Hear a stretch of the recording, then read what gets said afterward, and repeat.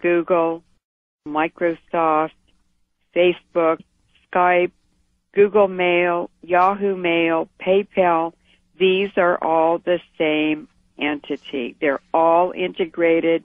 They get bought and sold and traded around. These are all U.S. Navy and military operations.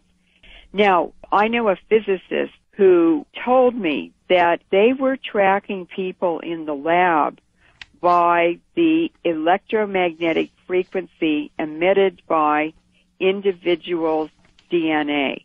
In other words, every living thing is an antenna that transmits and receives. We're an electrical system and the DNA in every living thing has a unique frequency and signal. That is what they're using, what they're focusing on, and what they're weaponizing to completely control us. The DNA Human Genome Project was carried out at the Lawrence Berkeley National Lab, where I was a staff scientist for five years. But the Lawrence Livermore Lab, Los Alamos National Lab, these are all nuclear weapons labs, were also involved.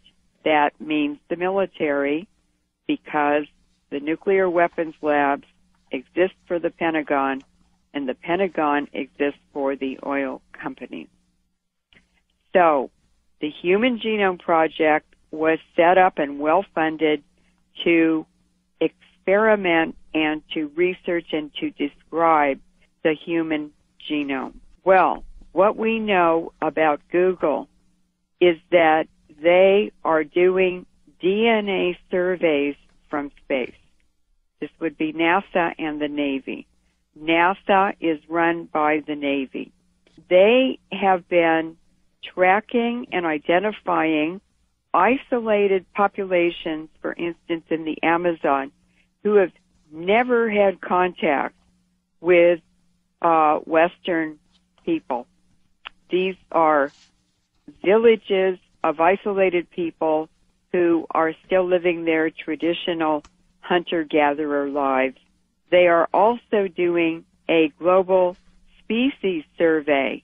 And I've been tracking this for two years and noticed that many new species are being discovered, uh, and it seems to be on a grid system.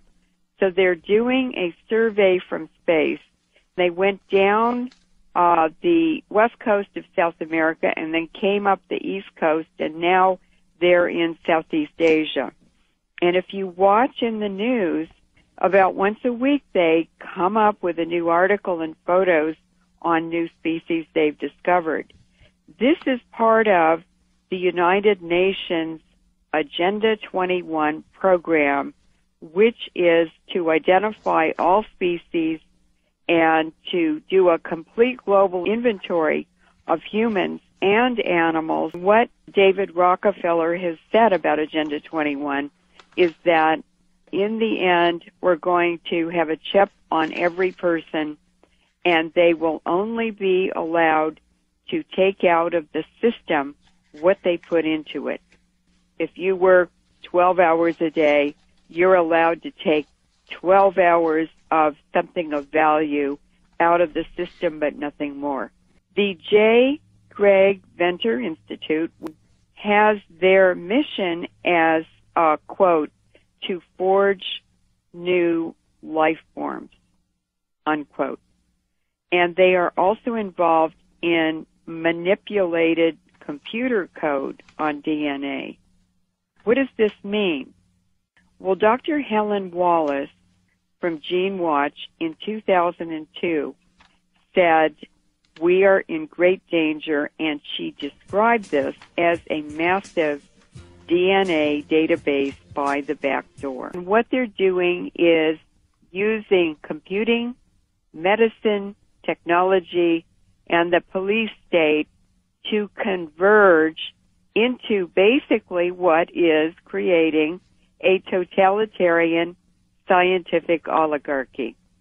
And their purpose is to get this information and use it in discriminatory programs where the rich benefit and the poor are impacted negatively by these programs. And the second part of that agenda is the depopulation initiatives. Now, I did an interview with Dr. Win Parker.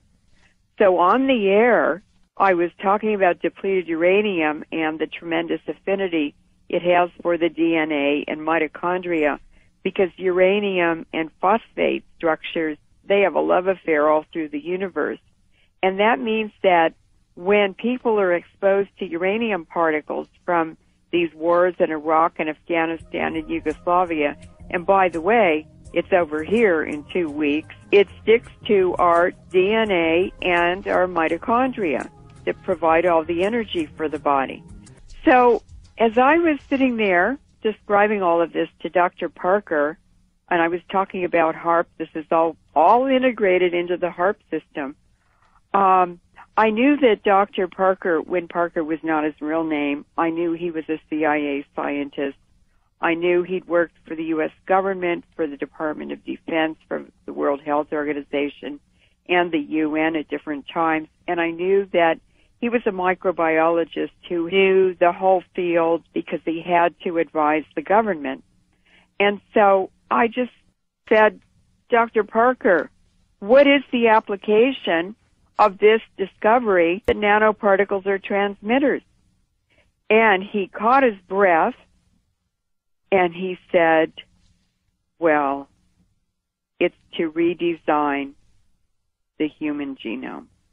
Create anything they want to. It's to repeat anything they want to. It's this totalitarian, insane scientific oligarchy that's run by psychopaths and they think they can do anything they want to. Now, what is transmitting and receiving that's around us? Well, how about cell phones in the megahertz frequency band? These are some abstracts that I'm going to just read the titles of. Uh, this is 1996. Single and double strand DNA breaks in rat brain cells after acute exposure to radio frequency electromagnetic radiation. So they're talking about sterility, about cancer, and about altering people's behavior. And the airport scanners are doing the same thing. It's very simple to do because we are electrical systems and we transmit and receive just like any other antenna a lot of this was described in the 1930s in the lectures that Bertrand Russell gave at Oxford University. And I would like to read a paragraph.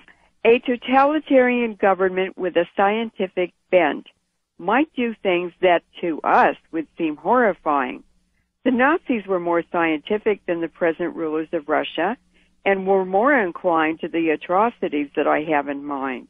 If they had survived, they would probably have soon taken to scientific breeding. Any nation which adopts this practice will, within a generation, secure great military advantages. The system, one may surmise, will be something like this, except possibly in the governing aristocracy. All but 5% of males and 30% of females will be sterilized. The 30% of females will be expected to spend the years from 18 to 40 in reproduction in order to secure adequate cannon fodder. As a rule, artificial insemination will be preferred to the natural method. The unsterilized, if they desire the pleasures of love, will usually have to seek them with sterilized partners. In other words, Bertrand Russell, wild reproduction is no longer an option. So basically, they have unlimited budgets. They have an unlimited scientific body and universities to do all this research. And today, uh, then, of scientific research money in universities comes from the Pentagon.